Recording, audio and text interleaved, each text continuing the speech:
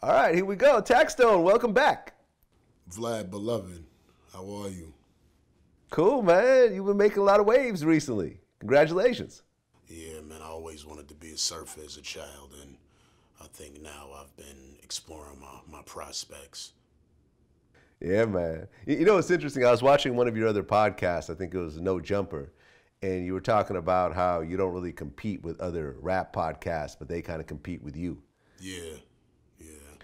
Yeah, I, I find that corny. I mean, anyone who's competing with me is is competing by themselves. I'm not competing with nobody. Yeah, I'm not. I'm. I especially can't. You know, it's almost like, you know, it's almost like you know having a song, you know, number one hip hop R and B charts. You know what I mean? But you're not nowhere next to number one on the the top 100. You know what I mean? So it's like, why would I be in competition with you when I'm in competition with them? You know what I mean? Well, yeah, and and I think like the thing is, is that it doesn't matter if you interview the same person that I just interviewed. Your interview gonna be different. Your fan base gonna be different, and no matter what you do, you're not gonna take away my 1.4 million YouTube subscribers. You know, it took me a decade to You build don't have to throw the number at us like that, Vlad. no, but I'm just saying, it's like, like I want everyone to do well. Me and you have always rocked together. Like if you need to talk to someone I know, boom, here you go. If I ever hit That's you up, fact. boom, here you go. Like I never looked at you as competition. I don't think you looked at me as competition. Nah, I don't look at nobody as competition because where I'm from, when you competing with people, people that means somebody trying to take you out, and I'm not personally trying to take nobody out, and, I, and I'm just hoping it ain't nobody trying to take me out. Yeah, real talk. But you know, congratulations on your success, man. you got you, some man. big interviews under your belt. Thank you, man. Trying. Well, well, most recently you just showed this to me, and it's actually not out yet. But by the time this comes out, this is going to be out. Yeah. Is you actually got an interview with Meek Mill?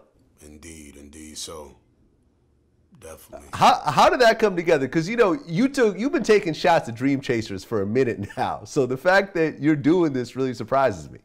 Well, um, Shady Black, my boy Shady from Philly, um, OBH down with um, AR Ab and um, Dark Lo, shout out to them. Um, he was telling me that he was speaking to Tok. That's one of um, Meek Mill um, family members. And, and Tok, he was like, yo, you know, Top brought you up. And I told him, like, you don't got no beef with them. Because I, I reached out to the Dream Chasers to tell them, like, I don't got no issues with y'all. You know what I mean? Like, I don't have no issues. I don't I don't got no beef with y'all. So, you know, if we was to, you know, if anything was to happen between us, it's because y'all wanted it. It ain't because I wanted it. You know what I mean? So that was basically it. I was waving the white flag because I was I don't got no beef with them. So um, he told Tok like, yo, when I speak to Tax, he be saying he don't got no beef with the Dream Chasers. Like he don't got no malice in his heart or nothing. You know what I mean? So then he was like, yo, I'm gonna give Tok your number, and then Tok called me and we spoke. You know what I mean? We we we spoke for like almost probably an hour and a half, and we just kicked it because you know when you when you when you really dudes this outside or you know what I mean, you've been in the street, you understand where certain issues can lead. So it's like only only a conscious a conscious gentleman could could afford to be a gangster and say, yo, it ain't even like that. You know what I mean? It ain't no problems. So that's basically what it was. And me and Top be kicking it, you know what I mean? And and next thing I know, I had got a call like, yo, you fly to Atlanta, do this Meek Mill interview. I was like, say no more. And it was just smooth. Went in there, spoke to him. He said, he said, I said what I said. We we did the interview. We got it going. Okay, and you did it in the in the Wraith. Yeah, we shot the whole we shot the whole um um interview in the Wraith. You know that's Meek Mill, real Meek Mill. And she was like, We shooting that in the Wraith. We gonna do the podcast in the Wraith. So I respected it and we, we got it popping and it's, it's, it's definitely a good one. Right. He had a rollie on at the time he was Yeah, doing the interview. yeah. You know, I asked him about his Rolly, you know what I mean? I was like, yo, man, you always rapping about your Rolly. He like, we said, what else I'm gonna rap about? he said, what else I'm gonna rap about? You know what I mean? He was like, you know, the Rolly, that's a staple in my neighborhood. When you got your Rolex, that means you succeed. You succeeded at something. And I, I understood it.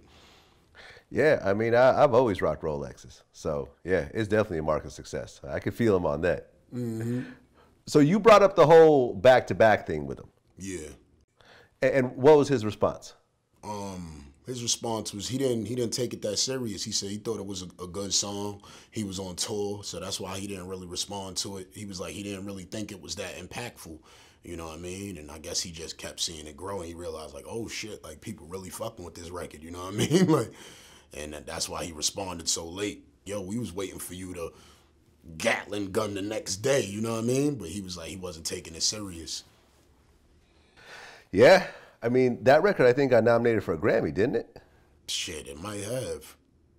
I told I remember I remember um Complex, they had like some some boat ride or some shit and they played that song like three days after it came out and like the boat literally was shaking and it was like you know what he succeeded at was making making a, a, a diss record a hit record you know what i mean and i think that's what other people you know straight away from there just diss and they just want to get the you know say the most craziest things and the most malice and he threw a bridge and a diss record and you know what i mean and he succeeded with it yeah, I mean, I mean, people are saying back to back is a top five disc record. I, I don't personally it, feel it that is. way, but I, I, can see the argument for it. It is like you, to hear a record in a party, you know what I mean, and to get you know to to put certain things and shout to all my boss, bitches, wife, and niggas. Like that little part right there, that little that's something that everyone says in the club. Like when that beat drop, like the DJ drops the whole beat and let the crowd say it. And he knew how to get that involved. And I think Drake always had that plan. I don't think it was just for Meek Mill. I think that was for anybody who ever played. Like he had that in the cut. He knew that he was gonna make a hit record, a diss record, a diss record, a hit record. You know what I mean? Yeah, you got to hand it to Drake. I mean, that was that was a big record, and it's kind of stood the test test of time. Also, I mean, it's still rocking out there. Indeed. I mean, it is what it is. I think a lot of people, though, and you know, I've mentioned this in my comments. I think a lot of people are still rooting for Meek to really do his thing. Like it wasn't one of these situations where it's like, you know, when 50 and Ja Rule first hit, like no one was really fucking with Ja Rule. It didn't matter what he put out, how hard the the verse was or whatever, people weren't fucking with him. I mean, now people fucking with him again, but for a while people weren't fucking with him. But I didn't really get that effect from Meek. Well, with Meek, you know, I feel like um the comparison with Meek and Drake, like I feel like with Drake, the world has more soft people, have more, you know, compassionate and I don't know, all the other soft words that you could find. And then you got the dudes that don't care about that, who are the street dudes or want to be street dudes, you know what I mean? You know, a lot of cops like the roughest hip hop, you know what I mean? That's why it's like, man, funny when they do violent shit. I'd be like, yeah, yeah, it makes sense, you know what I mean? But um, I feel like it was it's so much the majority of the world is soft, so they were gonna relate more with the Drake than a Meek Mill, because Meek Mill seemed like the predator. You know what I mean? When Meek was just actually like, yo, this dude getting his lyrics written for him, you know what I mean? People writing his raps, and you know that's looked down upon in hip hop. But when he said that about Drake, it was like, fuck you, asshole. You know what I mean? Like, fuck you. We don't care. You know what I mean? It was like the first time that it was like brushed under the rug. And I think, you know, any other time or you know what I mean, any other time in hip hop, that would have been like, woof. We'd have threw the blanket over Drake coroner, you know what I mean? But mm-hmm. I don't think people care. I know I don't even care. You know, I know I don't. I just like the shit. I'd be like, damn, that was some hard shit. You know what I mean? Yeah, I mean, did you bring up the whole Quentin Miller thing with him? Um, damn, I don't know if we did on video. We might, we might have. I'm not sure because I didn't listen to the interview yet. But um, yeah, we did speak about it, but I don't know if it was on tape or off. Okay, can you talk about what he said? He just was like, he just was like, you know, it was never no, you know, him Quentin Miller trying to write for him shit. You know what I mean? He was like, that shit was false. Like, you know what I mean? I asked him about Tory Lanez because Tory Lanez was in an article saying that he wrote for Meek or whatever. And he was like, what, a hook or something? You might have wrote a hook. He was like, ain't nobody write for me because I don't write my own shit. whatever. So basically, saying, wait, wait, he doesn't write his own shit. What do you mean? Yeah, meaning he rap off rap off the, at the top of the head. He don't he don't really write. So, you know, what I mean, I, I understood it. All right, man. Well, shit. I, am looking forward to hearing it. Congrats on on locking that in. Thank you. Definitely happy Appreciate for you. It. Shout out to Meek Mill. You used to actually rap yourself. When I was yeah, when I was younger, yeah, I used to rap. Yeah. Okay. What made you stop? I ain't see no future in it. I ain't, you know, the people that I knew in the music industry that really had money wasn't rapping. And these dudes was like consistently in the game for years and years. And then I seen rappers come and go and come and go. And then I was like, maybe that ain't the way. You know what I mean? So I just, I looked for other ways to, to make the money. Like, how long were you into it until you finally said, "Fuck it, this ain't for Well, I was a kid, you know. I used to rap like we even like we had like little mixtapes, like CDs and shit back in the day and shit. Like I never really took it too serious, you know what I mean? It never was no like yo, like you know, my cousin used to work at Bad Boy and like different labels. Nobody never took us serious, but I had to realize they ain't see no money in us. You know what I mean? So that's what I try to preach to preach to kids now. I be like, my nigga, I ain't fucking with you because I don't think I could sell you. Dig what I'm saying? So don't take it personal, nigga. I don't see no money in you. Yeah, and I think you know that's one of the things that I talk to to people about. As important as people put the quality of never giving up, I think it's more important to know when to give up. You know, because it, you know, ten years ago I was a mixtape DJ. Like if I was still a mixtape DJ right now, I Be would be fucked up. Yeah, you would be homeless. Yep. Yeah, I would be borderline, if not completely homeless. Like the fact that I, at one point I said, you know something, this was fun. Uh, I got to go on, you know, some world tours. I got to experience a lot of dope shit. But I got to really pivot into something else if I want to have a future and if I want to have financial stability and so forth. And that's when I went into the video and what eventually led me to Vlad TV. But if I was like, no, I'm never going to give up. This is my dream. I'd be fucked up right now. I told a couple, I told people all the time that don't take quotes too literally. You know what I mean? It's a quote that I always heard since I was a child, and it's always called um, "Never give up on your dreams." But as a child, my dream was to meet a Colombian Coke Connect. So you know, if I was to continue those dreams, you know what I mean, I might have ha- had a nightmare. So you know, I tell people you gotta separate. You know, have realistic dreams. You know what I mean? Not just dreams. Like you know, people like like you can't get. I'm like, what's your dream? You want to fly? You want to fly? You know what I mean? How long you gonna dream that? You know what I mean? Like when you gonna give up on that dream, nigga? So. But you know, some people just niggas be 40, 42 talking about you don't know what I could do, tax. People like my raps. I'm like, son, shut the fuck up, my nigga. Shut the fuck up. You 42. Your bitch is about to leave you for a 19 year old if you keep playing outside. Talking about you going to the studio, nigga. Yeah, well, I mean, speaking of rappers, you're the one that really discovered Desiigner. Yeah, well, not discovered him. You know, he was he was lit in Brooklyn, and I just I heard it, and I was like, man, this shit hard. Like I thought he was Future, just like everybody else did at first. And when I realized he was from Brooklyn, and the shit was hard, and I was like, I like this little nigga. And I seen the little video, I just started pushing him heavy, heavy, like on Twitter and everything. And then you know, Pusha T and them seen it, they got wind of it. They was like, swoop, swooped his ass the fuck up, and that motherfucker had a platinum record in five months or something. You know what I mean? Shout out to Desiigner. Yeah, I mean, I'm honestly surprised that that record did what it did. I mean, personally, Why not? Because do you think do you think that that record would have done what it did if Kanye didn't put it on his album? Um, I think that helped it, but I also think that um, with streaming nowadays, your haters can help your sales. You dig? So if you keep sitting there, you telling somebody, "Yo, listen to this song. This shit sound like Future."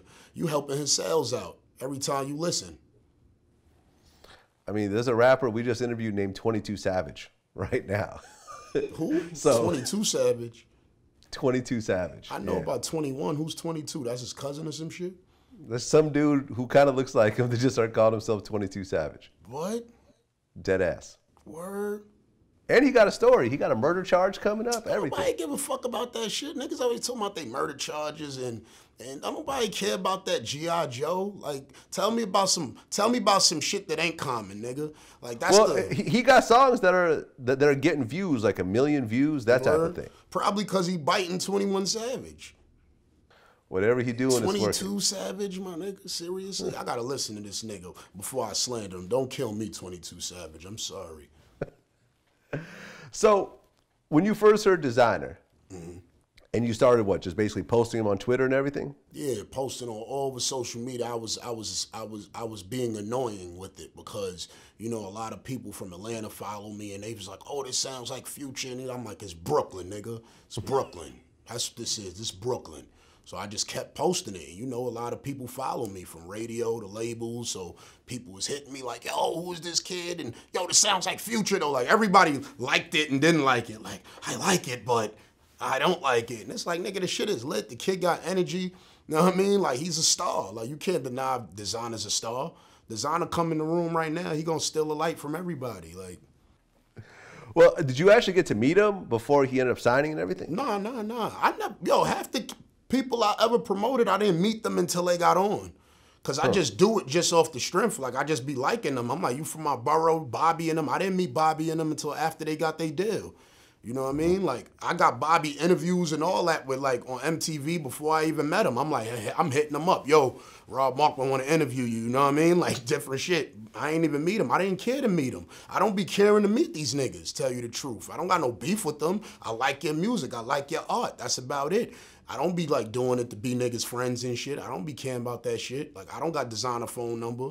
You know what I mean?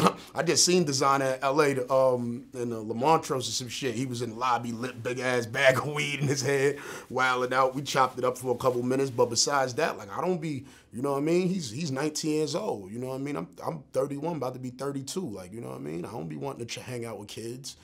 I don't even like kids. So when, when you hear him rap now, like I remember we had posted this video from like a few years ago, Mm-hmm. and he was sounding completely different. Like I didn't hear the future thing at all. You know what I'm talking about? Yeah, I heard it. Yeah. Okay, like so, does he really sound like Future, or is he trying to sound like Future? Um, I don't I don't think that. I think, you know, over time as as a rapper whoever, you find the sound that you like and you stick with it. You know what I mean? And I think that's basically like his evolution. Uh, Future didn't sound like Future three years ago. You know what I mean? His sound is new to him. So, you know what I mean? And yeah, they do have similarities. I'm not gonna deny that shit. And I think, yeah, I think Desiigner do be trolling him sometimes with certain, you know, with certain shit. But it'd be like he got some good melodies, you know what I mean? His, his shit is lit. And, you know, I don't think he gonna be a one hit wonder. And I think Kanye and them was the best fit. I think G.O.O.D. Music was the best fit for him. I think they the only people that possibly could do what they doing right now with him. Well, Timmy Turner is actually doing pretty well, and Kanye jumped on the remix. Like, so that's that's two. You know, Timmy Turner may not be a hit the same way Panda was, but it's still on the charts. Yeah, it stands up. It stands up on its own. So you know what I mean. Yeah. He got it, man. I I expect Desiigner to do some shit. He from Brooklyn. He not playing. Brooklyn dudes don't be playing like that, man. Even if a Brooklyn dude can't rap like that, they gonna make it. Like you let you give them two toes in the door. You know how we do. You know, you see all the jokes they make about New York dudes and shit and Brooklyn dudes on, on social media with the Tims and shit. That, that's Right. all, that's post-traumatic stress syndrome that these people going through from us going to their neighborhood, selling crack to they to they to they to they people in the town, taking all the money, fucking their baby mothers, having kids with their baby mothers and leaving, going back to New York to um have fun in the club. You dig what I'm saying? I understand. And that's all Desiigner doing right now. Desiigner doing him, he being a Brooklyn nigga. Well, you had said in a in another interview that Future should take it as flattery. Yeah, I would. I do it now. Like I see people bite things that I do, and I used to get like mad sometimes, like, "Oh, this motherfucker stole that," and I'm like, "Damn, you an ill nigga. People want to steal shit from you." You know what I mean? I had to look at it like that. Like, what I'm gonna do? Fight this dude or fight people every time they steal something from me? Like, it ain't ain't that serious. Like, it's flattering. Like, you know what I mean? If I was Future, I would have signed Desiigner. Desiigner would have never been able to grow if he did that. He'd have never stunt somebody growth. Yeah, I mean, if if Desiigner has signed a Future, that would have just been weird, man. Two of them on the song together, where you can't tell who's who. Like, You know, if you it depend, you know, you've been able it's strategy. You know, if you feel like somebody a threat, you know what I mean. You son them, yeah, just shelf them. you son them, yeah, son them, shelf them. You know what I mean? But you know, Yeah. he a Brooklyn nigga, so you know, just like I said, he he he went, he went and got the right situation. He doing his thing over there, G.O.O.D. Music right now. So I'm Yeah. proud of the nigga. And the nigga dab, he got the best dab in the Western Hemisphere. You know what I mean? he done took Atlanta dab and all that. You know, Brooklyn niggas take it. That's how we grew up. Now, now, do you have a relationship with Bobby Shmurda? I didn't speak to Bobby in like some. No, I'm lying. Actually, I did. I speak to. I spoke to Bobby like probably two months ago. Okay. Word. I'm cool with While Bobby, was- but I never was still in really, you know, I knew they was hot. Like it was certain things that I knew, you know what I mean, before I guess everybody else knew, and I didn't run to, you know, like they was like had beef with dudes from my neighborhood and dudes from my neighborhood was like, yo, Tax, how you promoting these dudes? And they got beef with us, but I was already knee deep in promoting them. So I was like, I'm not gonna not promote them, you know what I mean? Like I already started and, and I'm not on no, you know, like gang shit that they got going on. I'm not with that. I'm on some black shit. I'm not on no he blood, he crip. He, I don't care about none of that shit. I was, a, I used to do that gang shit when I was a kid. That shit was dumb. Mm-hmm. Now he accepted a, a seven year a seven year plea deal, mm-hmm. and and originally I guess it was set up where he took more time, so Rowdy Rebel would get less time. You heard about that? Yeah. But then when he uh, actually accepted the deal in court, I heard that he broke down and started screaming that he was tricked into it and everything else like that. I mean, do you know anything about that? No, I don't.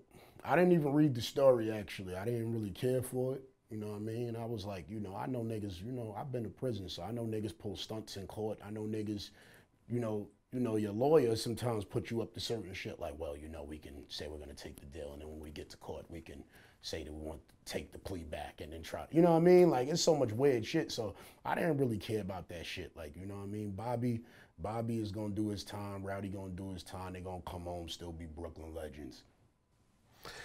Yeah, you know, and I think that you could say seven years all you want, but then when you're sitting in that courtroom and they actually say it and you know, because I mean, how old is Bobby? Maybe 21, 22? Yeah, like 22 years old, maybe now. so I'm saying you coming out when you're damn near 30. Nah, he'd be home in four years. He'd be home 26 years old. 26. Okay. He, oh, because he's gonna just. Oh, because he already had time served and everything. He already got two years in. He gonna do about three more, three and a half more. And he gonna be okay. home. Still a lot of time though. Yeah, some time, but you know, when you a kid, you got that and you got enough time for error. So it's best that you do be making the mistakes. You know, it's grown niggas that I know that I grew up with that started doing crime at 33 after having jobs all their life to go to jail. I'm like, what type of shit are you on, my nigga? That's you supposed to do all the dumb shit as a kid. you know what I mean? But you know, they kids and you know, he was on the path of you know, of positivity. You know what I mean? I remember Bobby put up a video, man, and he was like, yo, man, like, I don't want to be in the street. Like, I don't want, that shit touched me.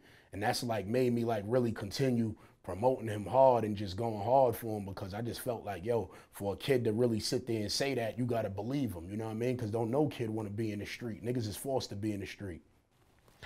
Well, if the details of that plea deal are correct, the fact that he took more time, so so Rowdy Rebel will take less time. I mean, do you ever see that out in the streets? Do you see people actually doing that?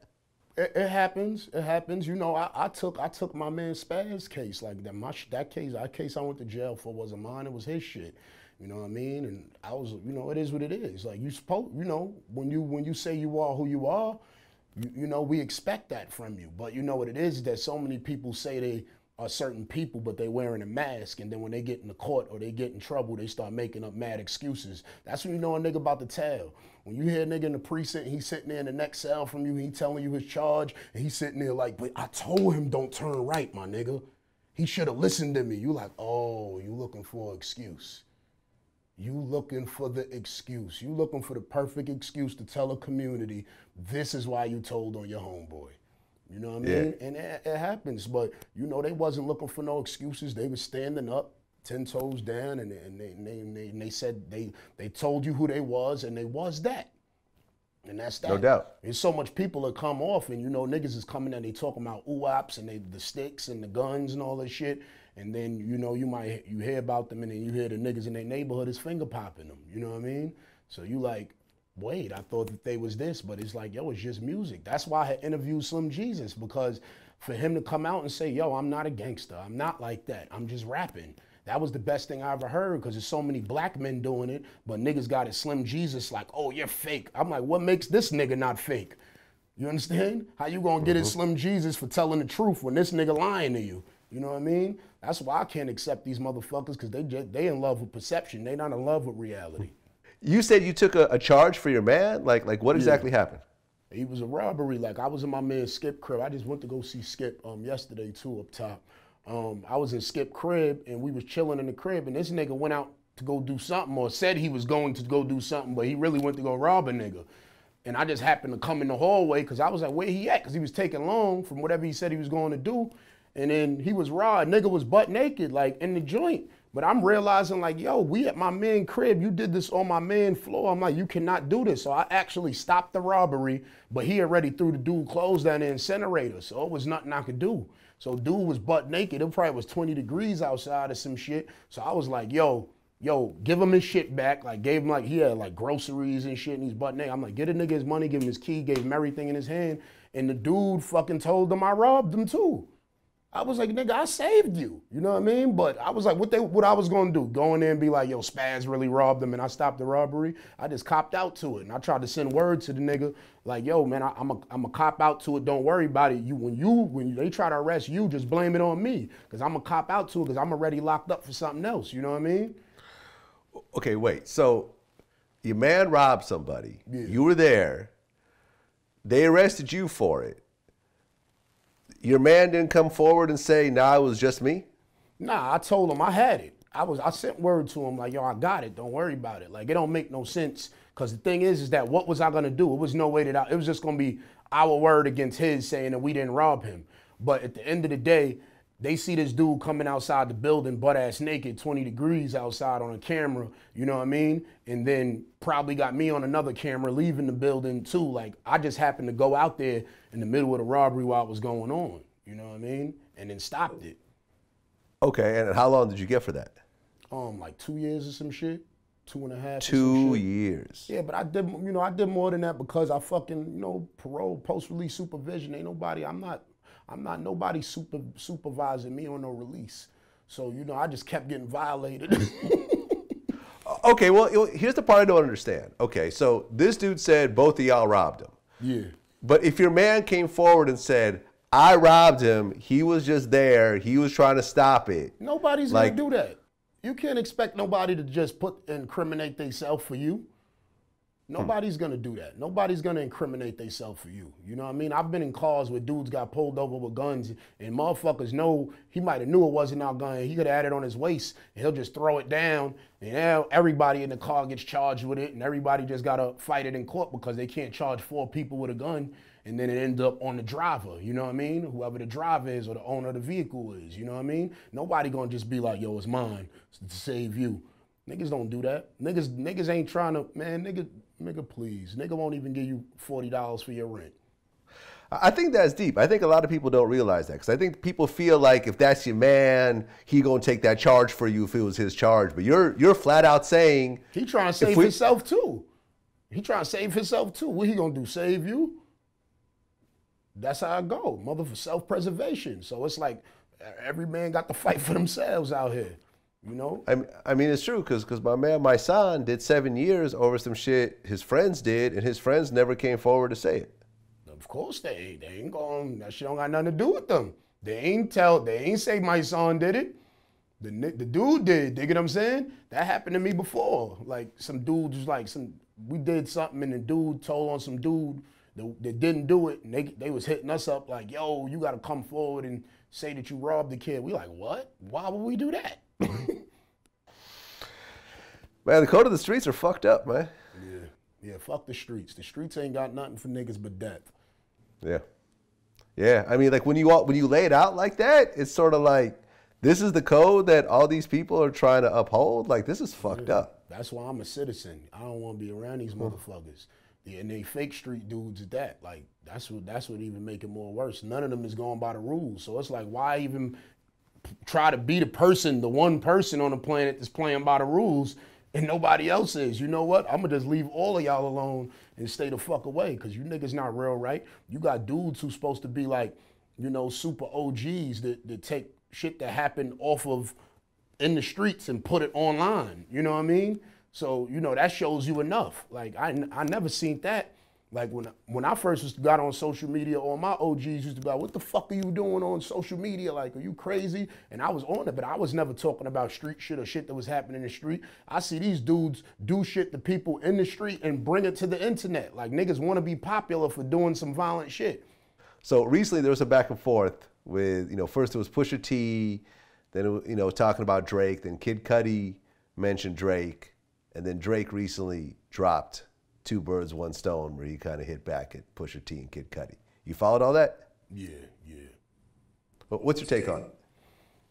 It's good. I like rapping. I like, you know, I like when people, you know, shooting their little darts in the competition. And I always wanted Drake and, and Pusha to go at it because, you know, I just felt like, you know, felt like Pusha be, be nudging him, you know what I mean? And he, he don't he don't do nothing. I feel like Drake know he can't fuck with Pusha T. Me personally, I think Pusha T one of the best rappers, you know what I mean? Like on some like ball for ball. Like I always go back to his shit. Like, and I didn't even like him like that years ago. But like over the past few years, I found myself going back to his old shit, listening to shit, and I'm like, oh my god, like, you know what I mean? So I like bars. So when I hear Drake shooting at him, I'm like, yes, God bless, thank you. This is what the fuck we need. We need some heat. We got to go at it. America against Canada. America against Canada. I love it. I mean, yeah, because Push is nice. Like Pusha, I don't think ever gets the full props that, that he really deserves because of maybe the subject matter or something else. But he's been consistently doing hot shit for what, 15 years or something? Consistently rapping his ass off for mad years. The nigga be rapping his ass off. It is what it is. Like, you can't deny it. Like, we read that last shit he just dropped ball for ball. You know what I mean? Like ball, ball, ball, ball, ball. I was like, yeah, the the HGTV thing. Yeah, I don't even be surprised no more. It's like coming to a point with him and like certain people when they when they rap, I don't even care. I'm not excited about it no more because I don't even expect it to be bad. You know what I mean? It just be be like, all right, he did it again. Did it again. Yeah. Now, Cudi took a, a shot at Drake over having a bunch of writers, mm-hmm. and then uh, Drake kind of talked about his whole drug thing. And you know, a lot of people are upset, you know, for Drake, I guess, drug shaming him or whatever else. So how do you feel about drug it? shaming him? People, yo, America is so corny. Like I never understood how America Americans can be the predators of the earth and then be the most sympathetic and empathetic and whatever the fuck. You know what I mean? Everything is, oh, why would you do that? Slut shame, hoe shame, every shame. They got every shame in the world now. Everything's a that's not right. That's unethical. It's like, what the fuck you? Chill out, yo. Chill out. The dude came to him. Let me in hip hop. If you come in somebody's credibility, you could possibly harm them to the point that they will suffer monetarily. You understand? That's why battling is dangerous because if you get in a battle and you lose, you could possibly lose your fan base. You know what I mean? So for Kid Cudi to come out and say the things that he said about you know Drake or Kanye and shit, you know what I mean? It seems like you was trying to hurt their credibility as rappers. So if a mother, you got to expect whatever you you you get back from that. You can't sit there and cry like, how could you, Drake? Oh, and they sitting there, oh, the mentally ill and all this shit. And I'm not listen. I don't got nothing against the mentally ill. I understand all that. What I'm saying is that sometimes these, these motherfuckers is grown men using their mental illness as a convenience. And I don't give a fuck what nobody say. You don't pop up and disrespect people, and then the next day talk them about you know, I suffer from depression. What's that? That sounds like you was trying to apologize to me. That's that sounds like to me like, yo, I suffer from depression. Don't mind what I said yesterday. You know what I mean? Well, remember, remember Gucci? He went in on everybody before he got locked up. Remember that he dissed everybody, everybody in the world. Yep. And then got locked up, and then he never apologized for it. It was he like, oh. he ain't say he was he ain't um, plead insanity. That's what people yeah. doing. I'm like, yo, next time I say some bullshit, I hope y'all sympathize with me because I'm depressed too. Fuck you talking about? I've been depressed for 15 years. Right. Well, because I think people scared of Gucci, so you know they just didn't say that after the fact. They just bypassed that shit. Like I ain't Gucci. the boogeyman of hip hop. Mm-hmm. I mean, you know, I personally like it. Like I said, on some hip hop shit, uh, I'm glad to see Drake actually not ignoring everything and feeling. And I want to see him rap. I don't know who helped him with it. You know, he could have had a rabbi three. You know what I mean? Behind him, you know what I mean? Helping him. I don't know. This shit just be sounding good. That's why I be when I hear Drake shit, I just be like, damn, that shit sound good. Like, you know, like what else you want? Like, you know what I mean? Like, for instance, somebody was like, Tax Cudi's been saying in his lyrics since this date that he suffered from depression. He's been saying his lyrics. I said, well, nigga, Rick Ross said that Noreaga owed him 100 favors too. That don't mean that it's true. You know what I mean? I don't I don't be listening to niggas rap lyrics, believing them. I just be hearing good shit like it sound good. Like you know on the, the shit like um I think Drake was like calling like Pusha T like a studio drug dealer. Like you know do you like I'm like niggas do y'all really think Pusha T got bricks of cocaine right now? Like You serious? You think he with Hillary Clinton and he got birds coming in? Like, of course he's a studio drug dealer. Who's not? Nigga's not selling no cocaine. Well, and also, this is the way I look at shit. You know, as someone who's in the public eye, who decided to put myself in media, whatever comes of it, I put myself here. I got to be a man and say, I could have been just a private citizen. I could have had a programming job or whatever else. No one would care about my opinion. No one would say anything about me. But I put myself out there. So whatever shit people talk, and people talk a lot of shit, I got to take that as a man. So as Kid Cudi, I don't really care about whatever issues he got. He decided to put himself in the public eye. Yeah, yeah, so whatever yeah. comes with it, he got to take that shit. Point blank, period. If he got problems, if he got depression, and people make fun of it, listen, you should have just, you know, you could have just made himself. raps in your bedroom. People was acting like I was, I, I wanted him to kill himself. I don't want Kid Cudi to kill himself. What I'm saying is that, you know, when you start, when you do certain things, and then you bring up your illness, you know, what I mean, it seems. Well, he he he didn't bring it up. He did. Then he didn't tweet the, the next day or some shit about his depression, or he put out a letter saying that he was checking in the um. Yeah, yeah. I mean, I think he, yeah, I think he did, yeah, but that's what that was. I don't know if that was, a, oh, you that was like a cop out. You, yeah, you pop up cursing everybody out, and then you probably was like, I probably shouldn't have did that. I need a Kanye feature and I need a Drake feature. Y'all know I'm suffering from depression. Right, I'm going to rehab next week. Y'all be safe. Yeah. Yeah. Uh, I feel you. And you know, the reality is is also that Kid Cudi's drug use uh, has been documented. Mm-hmm. We had an interview with King Chip where we talked about, you know, Kid Cudi's drug use. I never really seen him like, you know what I mean, like sh- what they would call like strung out or like. Mm-hmm. I always seen him in in total control. He'd just be turned up. You know what I mean? He'd just be like, he'll just be more of himself. You know what I mean? Like the the you know you may do do or say things that you know you would want to do. And I, you know what I mean? I really can't I can't explain it. You know what I mean? But it's it, I never saw it as like a problem where it's like man we need to get get, get you some help or that. It was just really like a choice. And then I remember Kid Cudi's PR or legal team, maybe it was his lawyer, hit me and said, you know, you have to take this off immediately because it's defamation. And I'm like, here's the article with an interview with Cudi talking about his drug use. This person that's talking about it is on these albums and clearly knows him. This is not defamation. We're not taking it down. Mm-hmm. And they just kind of left it alone after that. Last time you were on here, uh, you made some comments about Cam'ron yeah. Uh, and you, you said that he was snitching in terms of what he said about Jay Z and so forth. Uh, Cam'ron responded. Yeah, yeah, he did, yeah. Okay, then you responded. What I said to him? Uh, I think you said something. I think like Cam'ron said that you know I'm I'm with the bullshit or you know something like that, and then you said something like you know I like Cam'ron. I don't want to see him the next rapper slapped or something like that. Yeah, that's true though. That's true. Like I really like Cam'ron. Like I listen to Cam'ron to this day. That's why it hurt me to even say that in public to really say it. But I, I I'm like I can't. You know I can't make exceptions for certain people. You know what I mean? With certain things, that's that's my true feelings. Like you know what I mean. And people, you know, dudes could try to act like you know, just like I said, maybe he was doing it for entertainment purposes. You know what I mean? I don't know. But you know, I, as far as I know, if you get shot and then you say some shit like, "Yo, the the dudes through the rock sign up over there. That's like pointing the, in the direction where you need to investigate for police. I know if I was a police officer and I didn't know who shot Cam'ron, I would be like, oh, okay, let's look that way. You know what I mean? So that's how I took that. But you know, dudes, what I learned about, you know, a lot of people don't, you don't need paperwork to tell on people. That's a that's a fib. That's what people don't know. See, people think just because you just because you didn't testify didn't mean you didn't snitch. You know what I mean? So people always talking about, oh, where's the paperwork? You know how much people told on people ain't no paperwork there? Ain't no paperwork because he didn't testify. You could tell in the precinct and say, yo, this person did that and not testify. You know what I mean?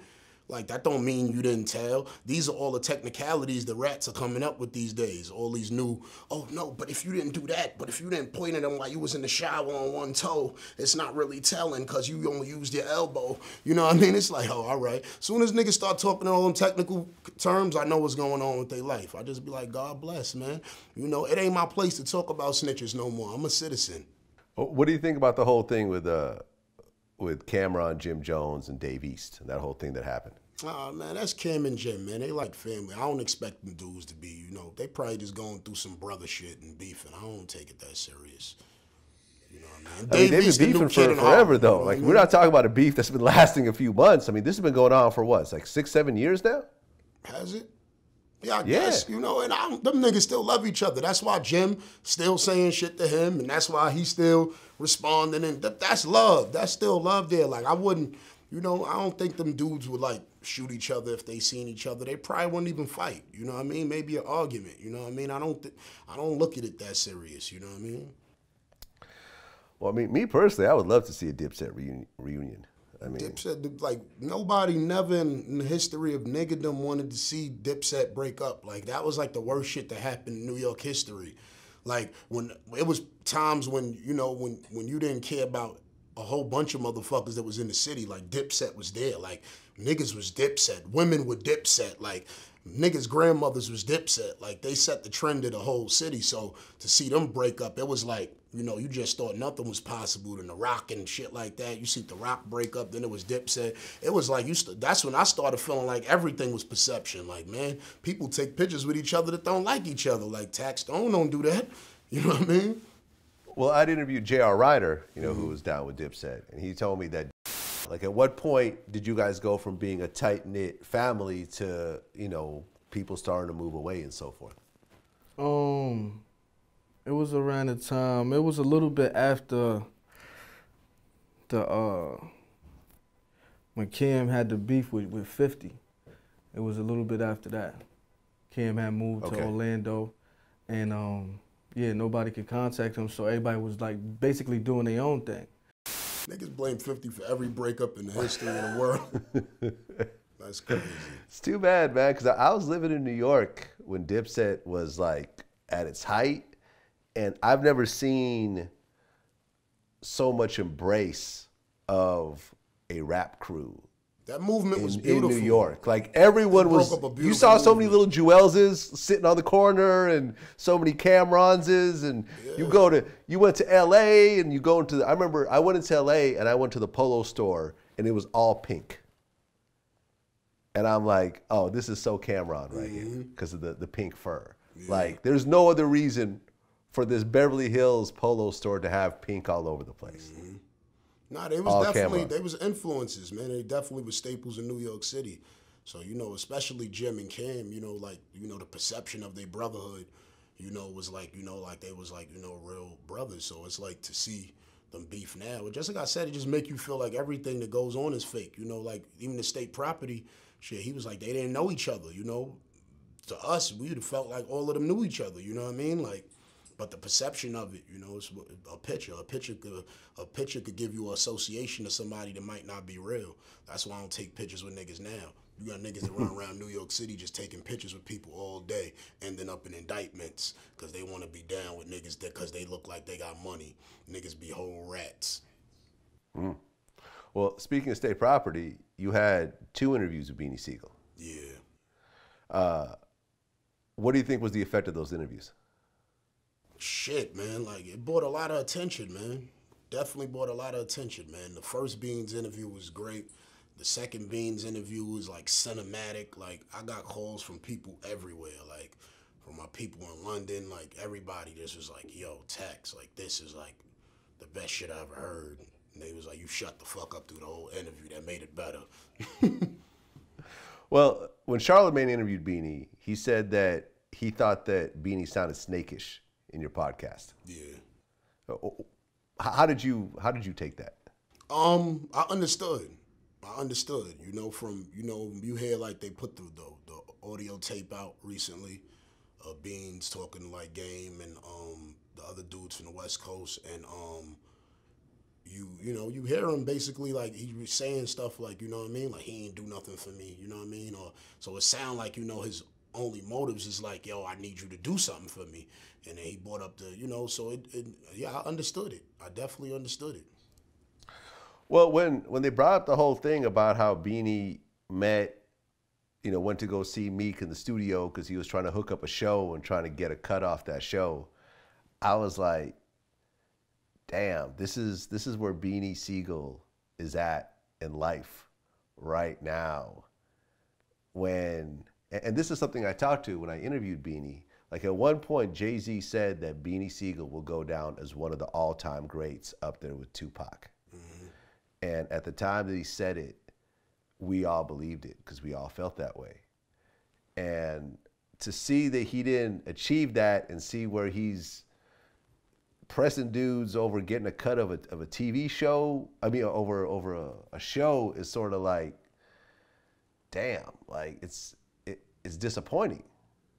Yeah, you know, like when you when you really look at it, because you know at first like Beans said certain things, and I and I do believe Beans, you know what I mean about a lot of things he said, but it's a lot of inconsistencies also, you know what I mean, like. So it's like now it looks like you don't know really what the motive was of of him trying to get next to Meek. It might have definitely been he wanted that fifteen thousand for the show. You know what I mean? And yeah, because you know he said on Breakfast Club that he he wrote the records. It was a reference track, and I was like, you know, when he told me he was like he wrote some bars and then he didn't write everything, and then it kind of like hit me. I was like, wait up, if that was a reference track, who's who was coming out of retirement? Because he said on the record, please don't bring me out of retirement. I'm like, who's coming if it was a reference track? You understand what I'm saying? So mm-hmm. it was some inconsistencies in it, and I think it's because of hurt, you know what I mean? And it might be on both ends, you know what I mean? Like, I don't, you know, both sides might not be telling the full truth, you know what I mean? But I definitely seen the inconsistencies in the story. What'd you think of, the video where uh, Beans got knocked down? That was crazy.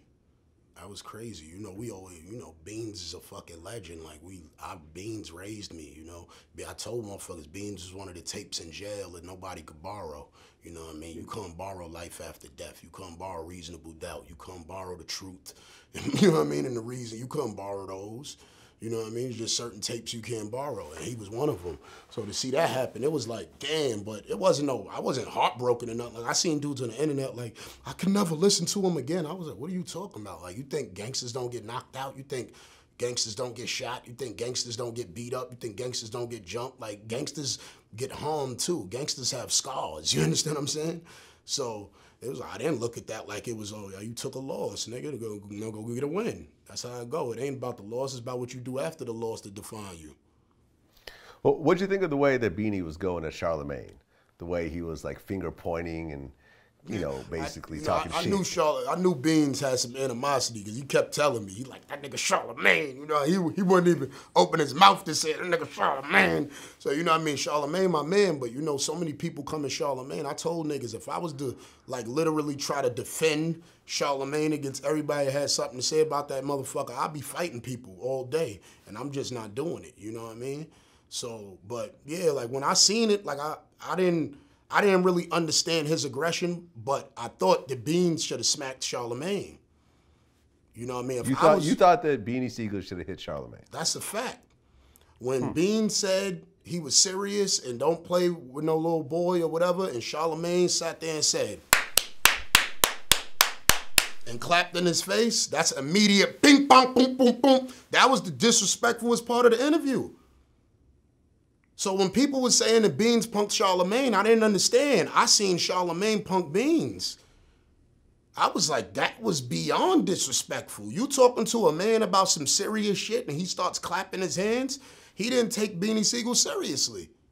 And I think if you watch the interview, you'll see that through the whole interview, he didn't take Beanie Sigel seriously. After a dude tell you he's certified and got attempts and got this and got that, and he do this and he's serious with you, and you not a man, and this dude and that, and then you clap in his face, holy shit. That was one of the top five most disrespectful things I seen in an interview. Yeah, no, Charlemagne actually pokes at people. Like that, that that's what I think is different in terms of my style and his because we interview some of the same people. But my goal is to get a person to feel comfortable and to open up. Whereas Charlemagne, I think, likes to poke at people and get them riled up. And that, that's just the difference in interview style. And I think we're both good at what we do.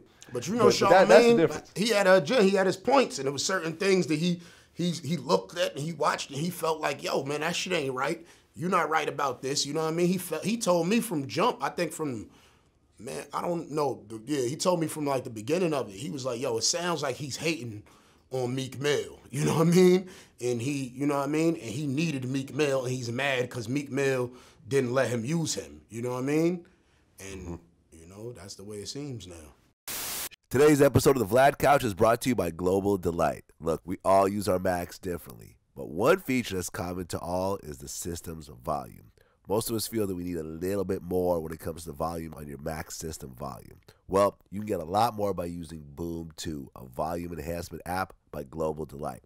Log on to Boom for boomformac.com. That's B O O M F O R M A C dot com. App comes with a free trial period for seven days, during which you can use the entire app, including the amazing audio effects.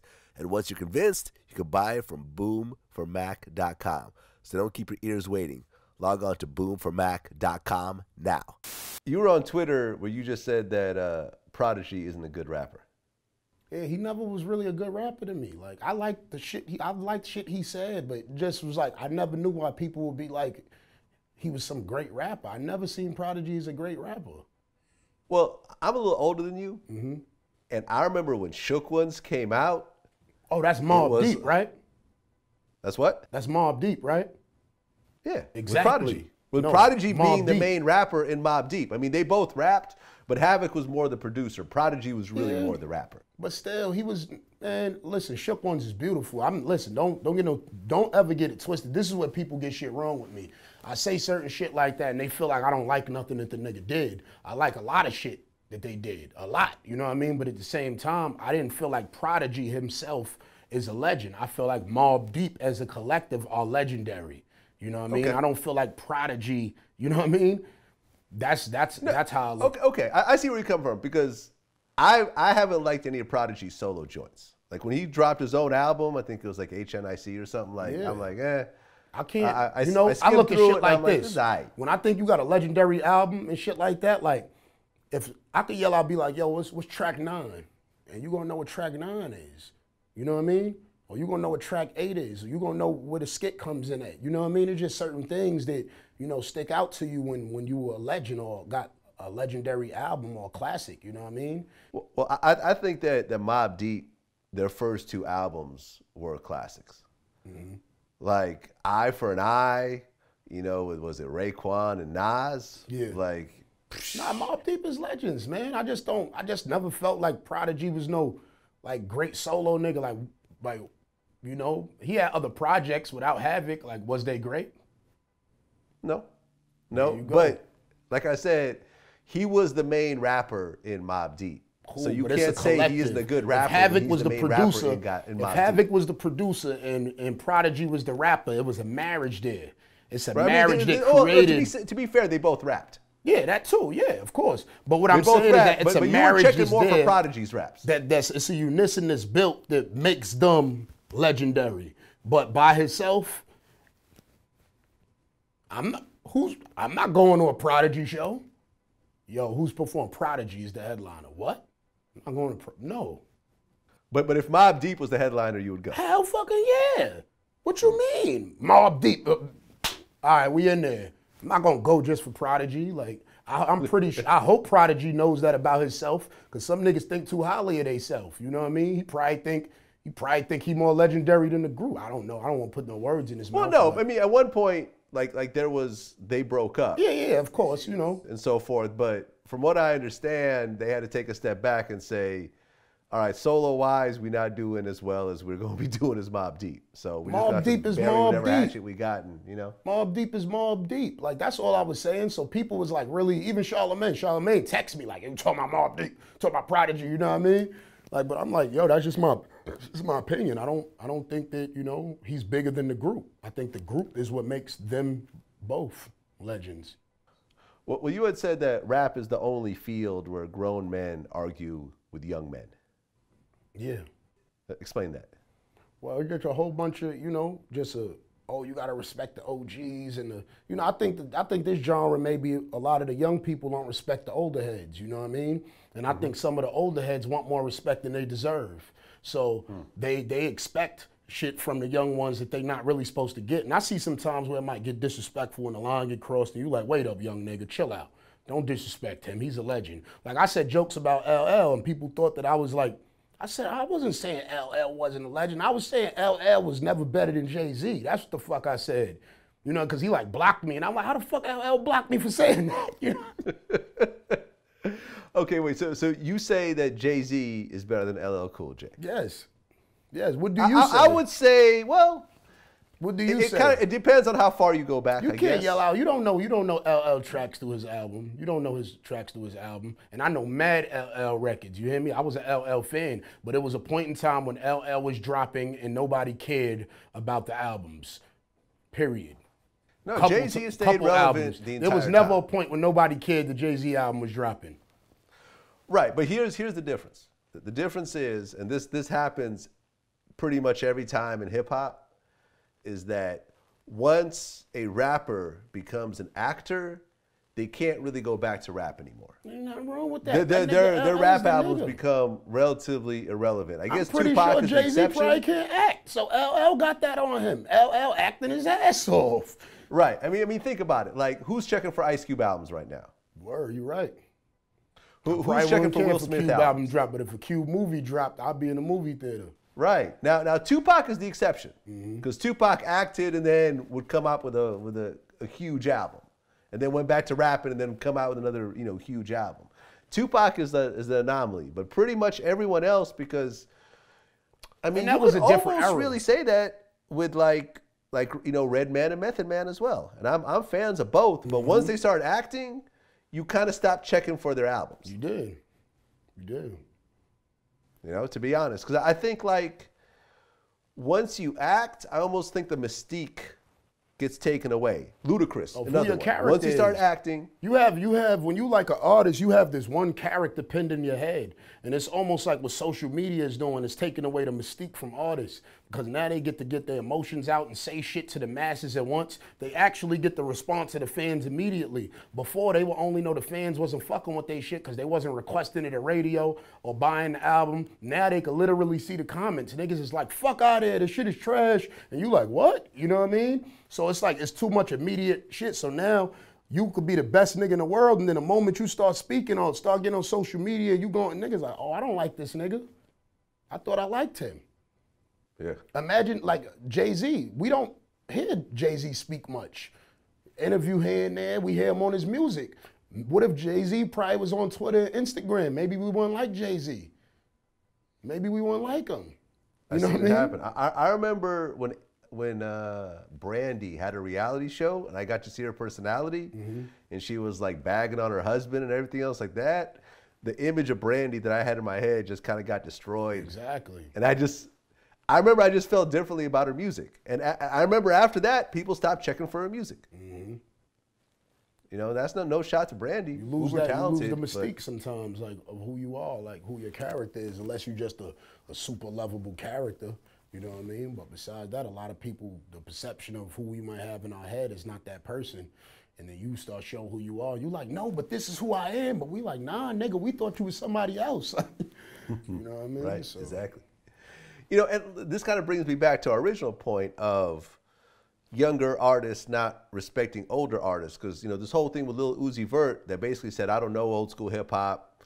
I think Drake is bigger, bigger than Tupac and Biggie. I don't know a lot of Tupac and Biggie songs. And like a lot of the old school artists just flat out attacked him. Like me and Pete Rock were arguing over text message for like three days about this. Where I'm one of the the older dudes who really feels like, who the fuck cares? If you don't know the background and you making your own shit, whatever. Do your shit. It's just music. It's just art.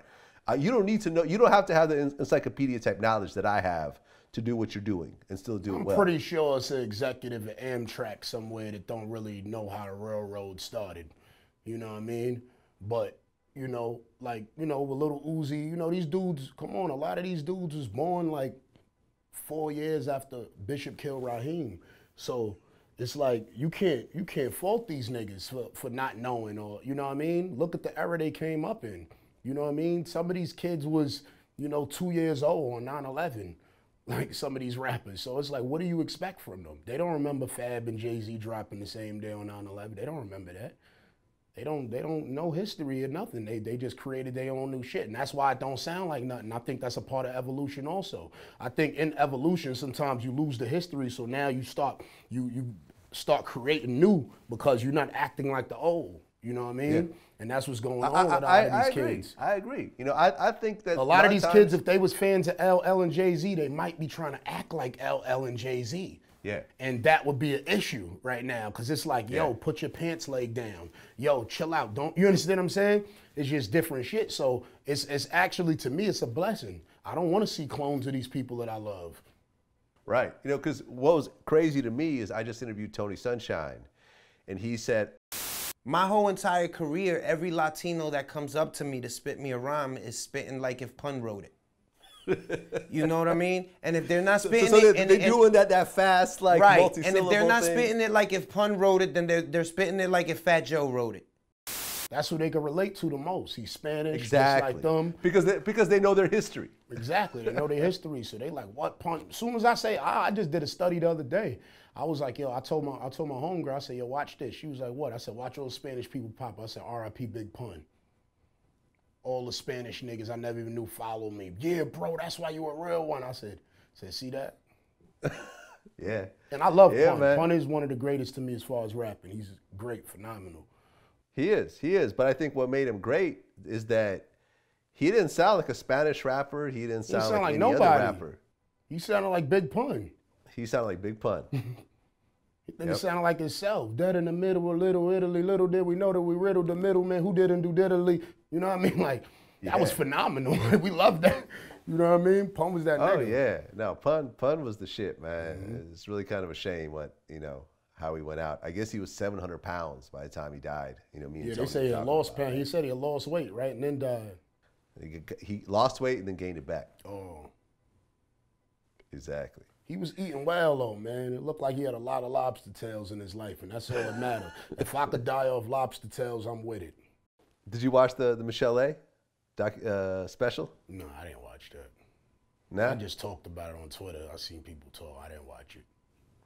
Well, I interviewed her, uh, you know, about a year and a half ago, where she essentially laid out the whole story that ended up, you know, making it to the biopic. I had five black eyes. Five black eyes. Yes. So, so, so you were getting punched in the face and, and that type Oh, of I was thing. getting dragged on the floor, shot at. Yeah. shot at. Yeah. I mean, essentially, the whole movie was Dre beating her ass.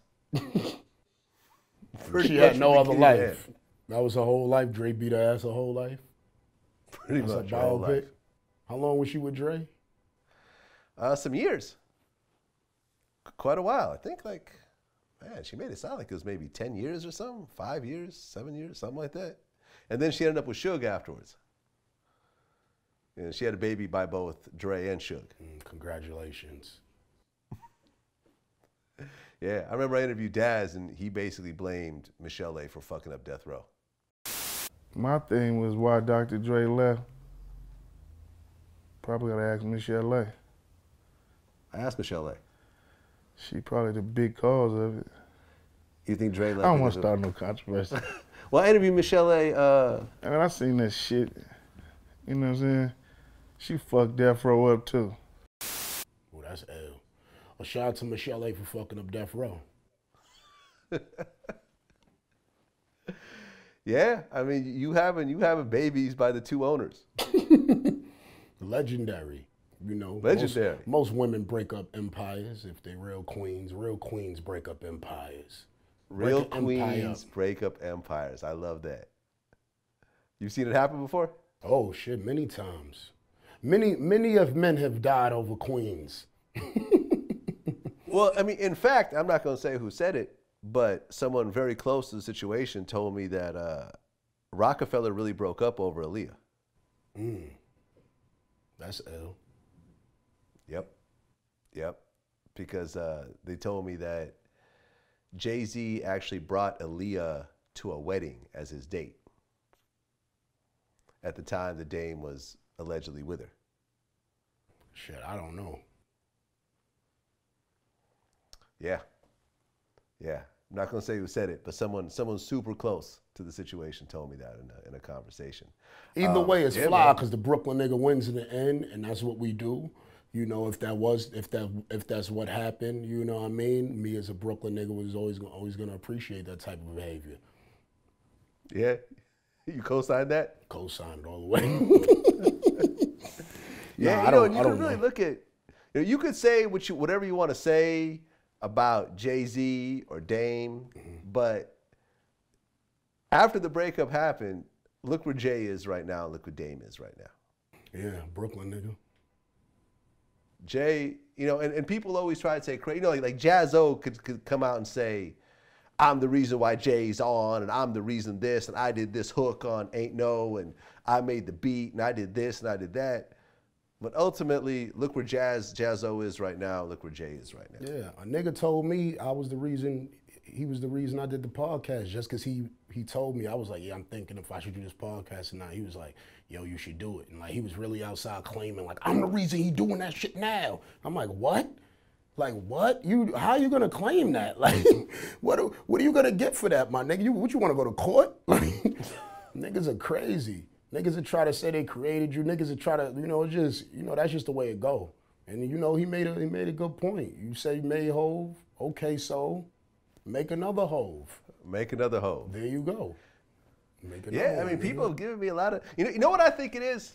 Here's what I think it is, and I and I always see this, like for example, in my comments. Someone will be like, "Yo, yo, Vlad, I got this great idea. You know, hit me up privately." And I'm like, "Well, just go ahead and say the idea here." Ahead, Like, you know, it. we in the comments, you publicly asking me, publicly tell me, "Nah, because I want to get paid for this idea, because you know this idea going going to change your whole business." And it's Mm-hmm. like, motherfuckers really overvalue ideas. Mm-hmm. Ideas are not really that important. Especially The execution is what's important. the execution. Do the shit yourself if it's such a great idea. Leave me alone. Yep. It's the execution. Because I have, you know how many great ideas I've had that people have executed now that I just didn't feel like going through at the time? Niggas be hitting me up talking about yo DM me serious business. I'm like, nigga, I got a girl. I got a girl, nigga.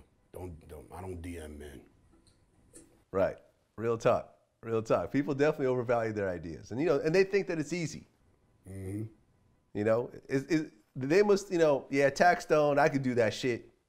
He just talks to motherfuckers all day long. Yeah, that's what they doing to me now. Like people like, you know, people that I know, they listening to other podcasts and they sending me clips of people throwing shots at me. And then I'm like, you know, I never knew these people at all. You know what I mean? To even know that they had a podcast. And then I'm like, yo, my nigga, I don't got no beef with you, my nigga. Why is you criticizing my show on your show and your shit is trash and don't nobody know you even got a show? I'm like, why you doing that for, my nigga? Like, I'm not thinking about you.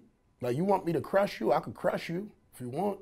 You know what I mean? But I ain't into that. I'm not trying to destroy your podcast, my nigga. Why you trying to destroy mine? Niggas on they podcast talking about my podcast. And Tax talks over people on his show, but we don't do that here. I'm like, congratulations, bitch, nigga. Oh my God, I'm so happy for you. What else you doing outside, nigga? What else you doing that I'm not doing? You know what you you know what you doing that I'm not doing? You being a bitch nigga. That's what you doing. Congrats. Well, you know what it is? People get on by by having someone bigger than them respond. Mm-hmm. yeah, I This noticed why- that This too. is why I don't respond to people, period. I noticed that. I did that don't to respond. Ebro because I I knew he was a weakling. I knew he was a weak-brained nigga, so I just kept bothering him because I knew he was gonna keep biting the bait. And then I like hit him with truths, and then I hit him with dirt and shit, and then he just like helped build me up. So thank you to him. I don't even respond. You can talk as much shit about me all day long. I don't care who you are. You can keep it, you know, because what I've what I've learned over time is that you will always win being professional. And there's different levels of losing by being emotional. You know, sometimes you don't really lose very much by being emotional. Sometimes you lose a lot, but you you never really win by being emotional. You know, and I think a lot of people don't realize that. What do you think about the whole Azalea Banks, Russell Crowe thing? RZA thing? I don't know, man. They just somebody should somebody should whip Azalea ass. Like she did an ass beat. She need to get jumped. You know what's wrong with her? She need to get jumped by some project bitches, right? Some some dedicated project chicks that just left the fish spot. You know what I mean?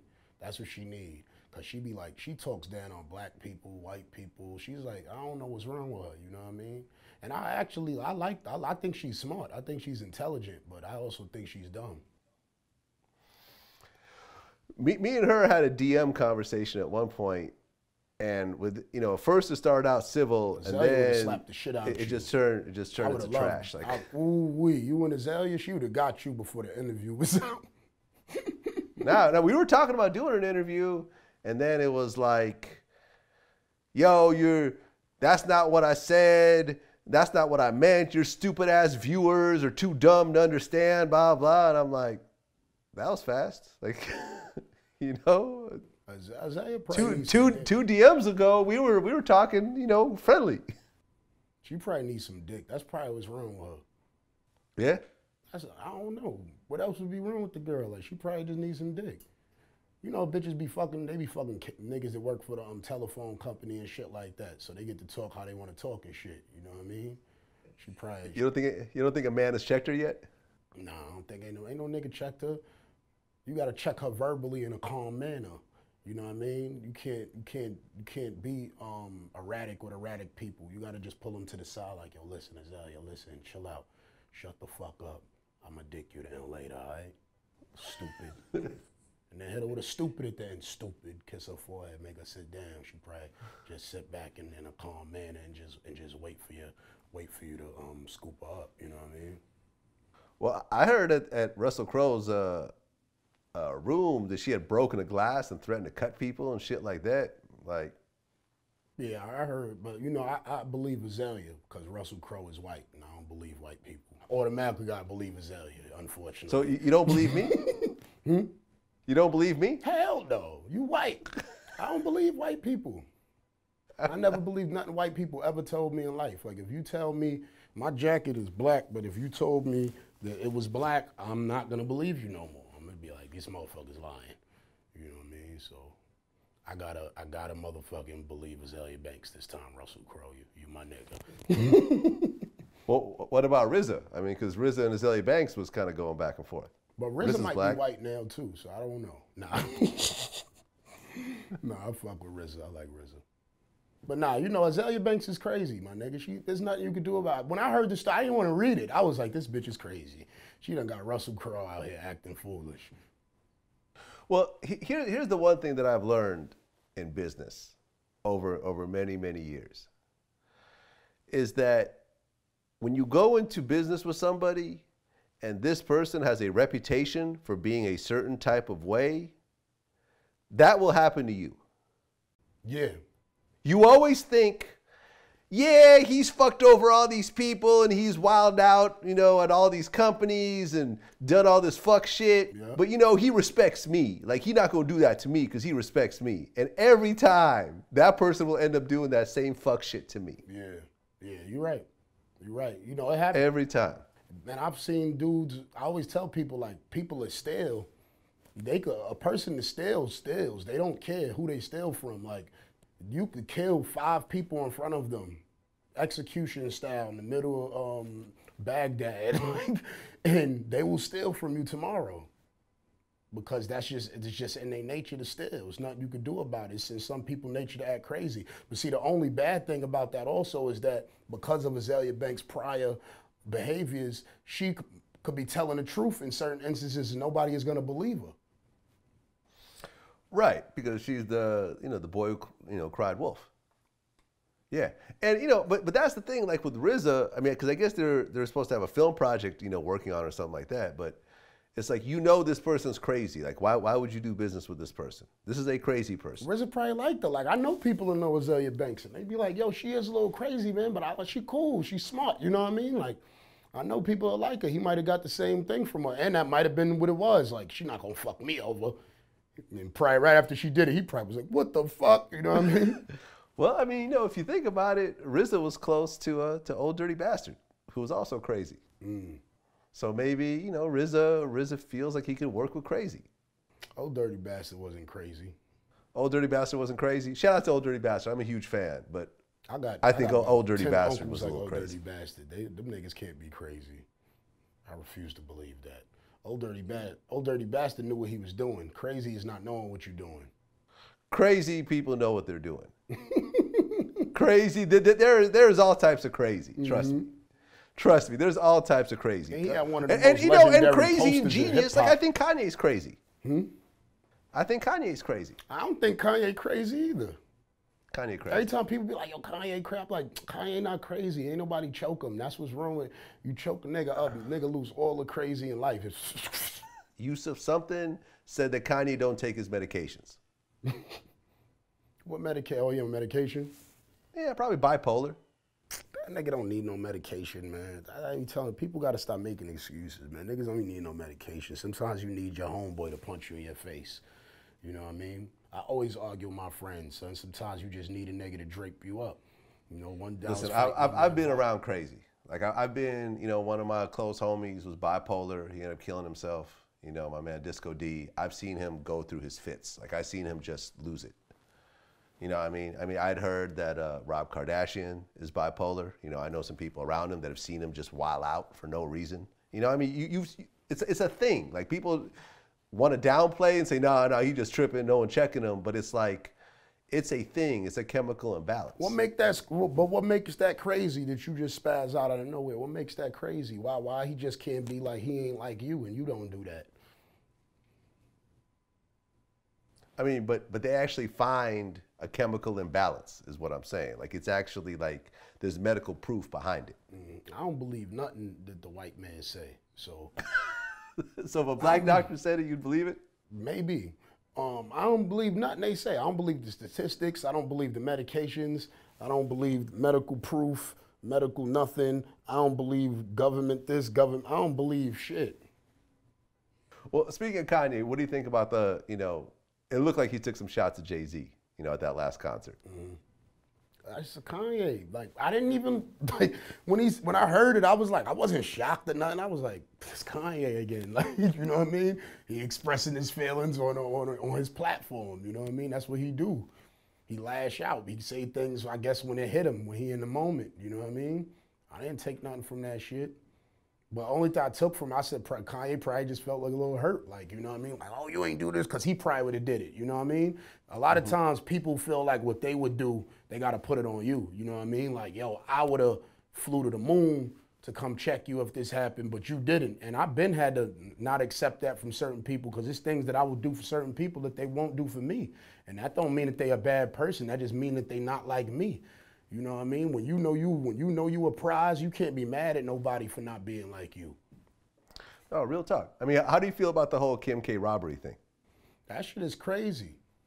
I believe this shit. A lot of people was like they ain't believe. I believe that shit. I don't think no. I don't think the motherfuckers is that good. Where you just gonna come up with staging a million dollar robbery and all this movie shit. I don't believe that. Right. Especially since it was like down the street from like the prime minister of France or the president of France. I ain't believe And, that uh. I don't believe. I don't. I don't believe they did. They did all that.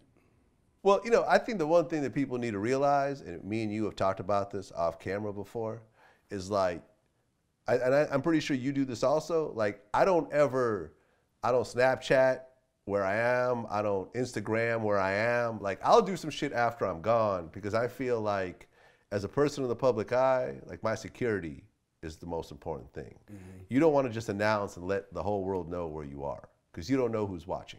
Mm-hmm. And I, I think Kim fell into the trap of just constantly just documenting where she is, where she's going, what she's doing, expecting everyone to just love her. And it ain't like that. No, Motherfuckers expecting is motherfuckers broke. not to run up because if you think about it, who would have really thought that they could rob Kim Kardashian? Like, I don't think it's nobody out there that was like, yo, I'm gonna rob Kim Kardashian when I see her. But them people, just like you said, she posting shit up. Oh, we know she's here. She's in London. She's here. We know she lives there. Whatever it might France, be. uh, France actually. We going, yeah, France. We going to check her. You know what I mean? Like it could have been somebody that worked for her. You know what I mean? It's always listen. You don't get robbed in your home without your friends setting you up. I keep telling people that your family members or your friends. Nobody knows. Yeah, but, but that but that wasn't her home though. That was a hotel. oh, it was a hotel. It was a hotel. Yeah. Oh, all right. Well, same shit. Somebody in the hotel. Somebody got the. You know what I mean? Motherfuckers got the drop. She here. You know what I mean? So it is what it is. You just gotta expect, respect, and embrace it. And, you know, she could keep flossing. You know, just get some some Compton Crips or something with you. Get you some Compton Bloods or some shit with you, and you and you roll around and you still wear your motherfucking jewelry. Oh yeah. Yeah, I mean, I mean, literally, I heard they took like three, three and a half million worth of jewelry. Like, you would think that you would have some Secret Service shit around that. Yeah. But you know what it is? I always said to myself, I used to be like, yo, Kim K and them don't even need security because paparazzi follow them around all day. Who gonna do something to a motherfucker taping somebody? You know what I mean? Man, But you'd be surprised. shit. Some people just do not give a fuck. Nah, you always how gotta many remember cameras that. around. Every time I think something can't happen, I always remember when John F. Kennedy got shot. Yo, not only did John F. Kennedy get shot, but Ronald Reagan got shot Yeah. afterwards. You know what I mean? How many, how many Secret Service were around when Ronald Reagan got shot? Mm-hmm. He was surrounded by Secret Service. This motherfucker rolled up with, with one pistol and shot the president of the United States. Yep. that's And he just go. got, and he just got out of jail recently. Mm-hmm. How's that? legend. Legend. Shout out That's what I'm saying. What was his name? Uh, John Hinckley Jr. I might name my first son John Hinckley. John F. Hinckley. John John Hinckley Jr. John shot Ronald Hinckley Reagan and just got out like I think a few weeks ago. Legend. Legend. That's what I'm saying, man. You you never too big to get touched. Yeah, people always think they no. Th- th- There was this crazy ass documentary I saw called uh, think it was called like 135 Ways to Kill Fidel Castro, and it had like his head of security, and he was literally breaking down all of the times that they tried to kill Castro and couldn't do it for whatever reason. You know, motherfuckers had like a missile launcher, like like a, like at a you know in a in a room across where he was doing a speech, but they felt like in order to get the shot, they'd have to have the missile launcher kind of partially out the window, and then you know the security would have saw him. Yeah. Or yeah, man, that's what I'm saying. Ain't no one too big to get touched. No, nobody. What do you think about about uh, Gilbert Arenas and, and 50 Cent trolling their baby mamas? you know you can understand it you know what i mean? Especially when you you know i don't i don't know what's really going on but from what it looked like it looked like they baby mothers is trying to rape them for a lot of money and you know they they win and they're on a winning end. And i feel like it's probably a lot of men that's going through that out there. And they they embracing each other like yes you won too. Like dudes ain't out here winning in that field. I guess the way I look at it is you could not get along with the with the, your baby mother, but that is still the mother of your child. Mm-hmm. You know, so if y'all gonna go at it, go at it privately. You know, but it's it's almost like what Bean said in the interview about, you know, him not knowing certain things that his mother did to his father, but he he hated his father, you know what I mean, for not being there as much as he was, but didn't real but had to realize as a grown man when his father broke it down, certain things that was going on, it was like, damn, this is the reason that he, you know what I mean? So it's really it's it's a, it's between it's between father and mother. It's between father and mother. Don't even got nothing to do with the kid. You know what I mean? Even if the kid is grown, like it's, this is our relationship before you. You know what I mean? So they gonna go through what they gonna go through. Them type of instances, you can't you can't say nothing to butt in. These type you don't know what's going on in their life. Them people might be back together next year. You know what I mean? That's why you never I never mind my business with people families like Cam'ron, Jim Jones family, shit like that, Jay Z or whoever, niggas family, and I ain't butting in that shit, nigga. I I be mad at my man for a year sometimes and be back with the motherfucker the next year chilling with him. You know what I mean? So I, I understand. Yeah, like, but I'm just saying, like, the kids is getting put in the middle of this shit. You know what I'm saying? you know, I- social like, Like I media. said, like, there, there was a whole thing with like Gilbert Arenas. He's bragging about how he don't have to pay a certain amount of child support because the money he made before doesn't get counted for the current child support, and he's not sending his kids to private school. And I'm like, come on, man. You you had a hundred and ten million dollar contract. You're not sending your kids to private school. Like, what what do your kids got to do with it? Mm. Yeah, I didn't I didn't know all that. I would I would send Yeah. my kids to private school. Oh yeah, and he was talking about how you know his, you know his, his baby mother needs to start hoeing to make some money because he ain't paying her shit and he don't have to pay her nothing. It's like, all right, okay, I get that part. I get it. You don't like her, but like, you're worth nine digits. Hold on, wait, seven, eight, nine. You're worth nine digits, and your kids got to go to public school when when they you know when they had the chance to go to private school in L.A. I don't get it. Yeah, I don't I don't I don't fully I don't fully know the details on that. But I feel know you. I will be putting my kid in private school. What's your take on Donald Trump? I don't. know, I, I like Donald Trump. I like Donald Trump. I love. You like racists. Donald Trump? Yeah, I like op- open racist. Like I like people that's openly racist. I don't like sneaky racist. Like he's an open racist, and I appreciate that about him. You know what I mean? You appreciate that, that he called Lil Jon and Uncle Tom. he called what? You didn't hear about this? No. Yeah, while while they were filming Celebrity Apprentice, uh, Donald Trump called Lil Jon Uncle Tom, Wow. And Lil Jon confirmed it because you know what it was was some of the staff members from the show came forward and said that. Lil Jon wrote like an open letter, and he said, "Yeah, he called me that. We're not sure if he knew what it meant. We brought it to his attention, and after that, he didn't say that again." Hmm. Maybe he was right. What do you mean? Maybe he is an Uncle Tom. Trump, man, Trump gonna say we want. I think anybody can say whatever they want to say. I think we should all be allowed to say what we want to say. I think we should be allowed to be racist. I think we should be allowed to express our feelings. If your true feelings is that you don't like a certain race or color or whoever, I think you should have the right to do that. I don't like you either, motherfucker. You understand? Like it's that easy. You don't like me, I don't like you. What happens when you find out a person don't like you? You don't like them back. You're like, oh, he don't like, I don't like that motherfucker either. Like, Well, I mean, you're not talking about disliking a certain person because that's that's perfectly fine. You're talking about dis- disliking a whole race of people because they're just born that way. Ain't nothing wrong with that. Dislike me, motherfucker. Dislike all of us. I don't care. What the fuck is your dislike gonna do to me?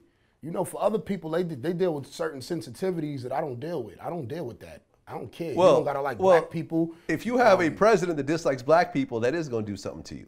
Oh, oh yeah, as far as the prep, but it's like this is the United States of America. We can't act like you know this has never been. This is what it is, motherfucker. He just saying it. you know how many presidents we might have had don't like black people. You know what I mean? I don't think Bush ever liked black people. I, I agree with Kanye West. I don't. Well, think which Bush liked whi- black which people. Bush? I mean, talking about Bush. Uh, All the Bush, HW Bush, anybody, Because Bush Gardens, George Bush, Laura Bush, any Bush.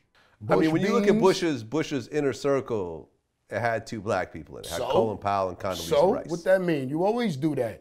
You got to do that. You got to you got to throw them off. You got to throw them off. You can't you can't be a you can't you got to. I'm not racist. Look, I have two black two black people in my cabinet. I say I talk mad. I got mad white friends I speak to every day, like on the phone, every day on the phone. But I'll just say shit about white people just to throw it out because I be wanting to see how other people want. You know what I mean? Cause sometimes a motherfucker be like, yo, you know, you know, I don't like you a- your ass either, you black motherfucker. Like, thank you, man. Appreciate that. Okay, well, Colin Powell, I don't think would have just joined just because Colin you know Powell he wanted to be black, the one man. black friend. Colin Powell ain't black. Colin Powell What black? Colin Powell ain't black. Is he black? You tell me. Colin Powell's black. His Colin wife Powell is not black. His kids are black. Colin Powell is not black, my nigga. That nigga has never had neck bones in his collard greens. That nigga is that nigga's not black. Just certain people is not black. Colin Powell is one of them. Okay, who, who are the other black people who aren't black? Shit, holy shit, there's so many of them. I don't want to offend they black asses um, that ain't black. Um, Colin Powell definitely ain't black. Who else ain't black? There's some other. Um, Stacey Dash ain't black. Um, Okay. Who else? Oh, what's the what's um Don Lemon? He not black. Don Lemon. And I've been seeing him. He's been trying to like. I've been seeing him trying to like. Trying to be fake black, you know what I mean? But I, I see you trying, you know what I mean? But nah, you gotta you gotta go harder. You gotta go outside and punch somebody in the face to say all lives matter or something to be accepted back into this community. You know what I mean? Uh, Charles Barkley. Charles Barkley is just a bozo. He I don't he not human. He's not human. He's just a bozo. I always thought he's a bozo. Always. O.J. Simpson. O.J. Simpson is black. O.J. He's Simpson black? Is black. Yeah. O.J. Simpson is black. Why, why does that? Why is he black and some of the other people that you mentioned aren't? Why he not black? They tried us. They tried to assassinate O.J. Simpson. They did everything in their power to take O.J. Simpson down. That means he's black.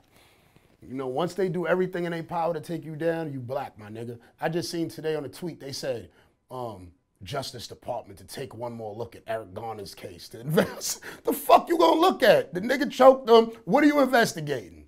What the fuck are you investigating? What, nigga? What the fuck is the investigation? What? He choked them out on camera and killed them. What you talking about? What's the investigate? What are you? What are we investigating? That alone, reading the headline just made me know. Damn, nigga. You doomed out here, beloved. You doomed. They gonna investigate that.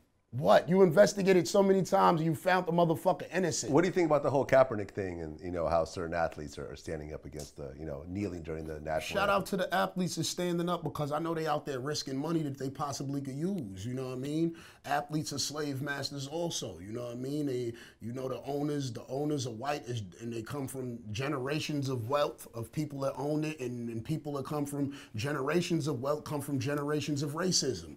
You dig what I'm saying? So for them to be playing for these these slave masters' kids or whoever, or, or, or you know whatever the fuck it might be, they for them to nail down is a strong statement because they know that they could get their money taken away. And I commend anybody to do that. And the dudes that don't do it, I understand also. You probably got poor money management you know you cannot risk some of these checks.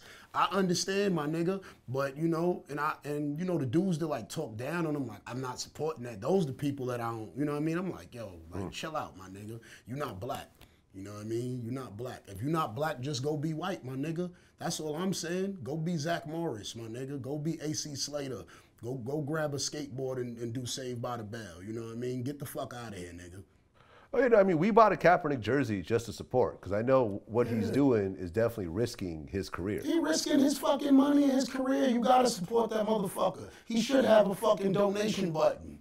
You know what I mean? He should have a donation button on his page so we could just donate whenever we want to donate because you don't know how long he gonna keep his job. All he need is one slight slip up and he will be out of the NFL. You understand that? Mm-hmm. Let one bitch say that he broke her fucking pinky nail in the supermarket and that nigga's gone. Believe that. You know, it's interesting because uh, I interviewed a brother Polite recently, and um, we, we talked about something he had mentioned before, which which I found really really deep, and that is We've practiced thinking like this for so long. It's been dumped into our DNAs and passed on to us from generation to generation. This is true. It's called epigenetics, just so people have a point of reference that if I am susceptible to similar distress, the trauma inherit from my ancestors who inherited from their ancestors, I will also be vulnerable to the same. So we can inherit trauma. This is through epigenetics, it's true. You set the stage for similar moods, anxieties, foods, and maybe even music. And those algorithms will undoubtedly precipitate similar thoughts and reactions. That's called epigenetics. And so, being in slavery for so many years, the only thing a slave can conceive of getting any type of wealth from would be by way of their slave master. They got their food, they got their clothing, and they got their shelter. It's partly true because in a lot of instances, that's what it is. You gotta, you know, when you think to society, industry wise, there's no African Americans own no industries. None. You know what I mean? None. So it's like we should at least own the do rag industry or something like something. Like, give us something, nigga. But the thing is, is that if we don't own any, where's it gonna come from? It's gonna come from a white person. You know what I mean? The people who are the most profitable and rich in the country. It's gonna come from them. It's not gonna come from us unless we build it up ourselves. And and now it's just starting to come from where black people are like supporting black businesses and and trying to support each other and shit like that. You know what I mean? It's like it's new. It's all new for us. Like it's not word, it's new. We it's still shit minor shit. Motherfucker win a, a Grammy and motherfuckers being a it's sad. I remember seeing my aunt and like old aunts and shit like that, like see certain things like like a Halle Berry win an Oscar and they be in the living room crying, you know what I mean? And I'm like happy for, her, but I'm not crying happy. But they crying because they ain't used to it. They not used to seeing that. So they just so happy to see a black woman get honored for something, you know what I mean? They like, oh my God, like we can't believe this, you know what I mean? That's why we were so happy when Obama won, you know what I mean? But they just slapped Obama there for us one time, like, oh, shut up, niggers, you know what I mean? Threw Obama there one time so we could shut up and be happy for eight years. I mean, do you think that Trump has a chance of winning? Hell yeah. All these racist motherfuckers in the country, you don't see what's going on. The moment I seen that motherfucker pose there, I said, man, all I did was confirm what I always believed. That all these motherfuckers was racist. I just went to go see my man Skip in jail. My assistant, we driving through the fucking town. It ain't nothing but Trump shit in the lawns. The little Trump banners. I said, look at this shit, Incest County. You know what I mean? Incest all- County. Yeah, shout out to all the um the, the white dudes out there having sex with their daughter. Congratulations.